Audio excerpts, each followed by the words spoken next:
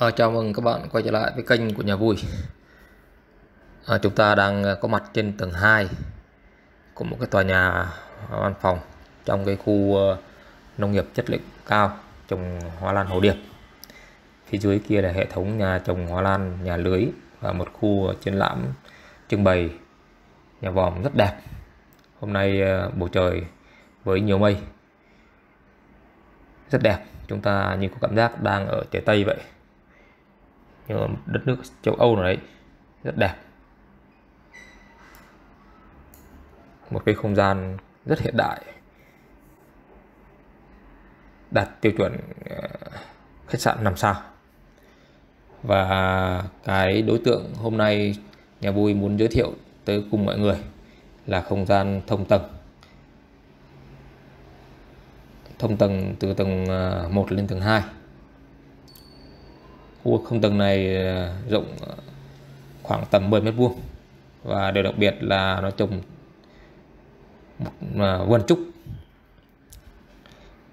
Ở không gian tầng 2 chúng ta có hệ thống lan can bao quanh cái khu vực lỗ thông tầng này lan can kính và có thể view chọn cảnh cái thông tầng với khóm trúc được trồng ở phía dưới xung quanh là cái bàn ghế để cho nhân viên văn phòng có thể ra ngồi để thư giãn.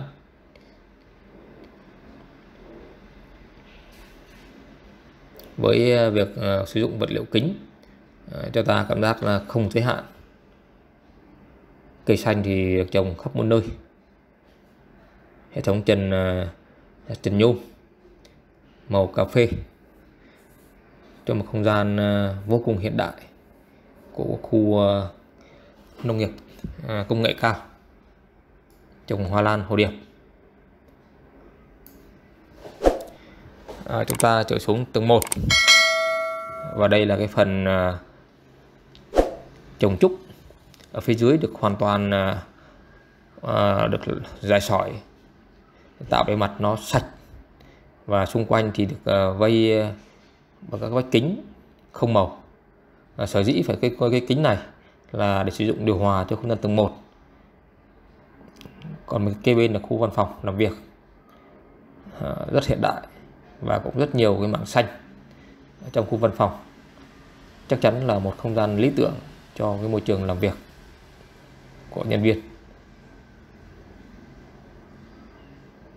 Trúc à, được trồng rất dày ở đây các bạn cùng quan sát cái hình ảnh à, hệ thống đèn đã được bật lên. Ban đêm chắc chắn sẽ rất là lung linh.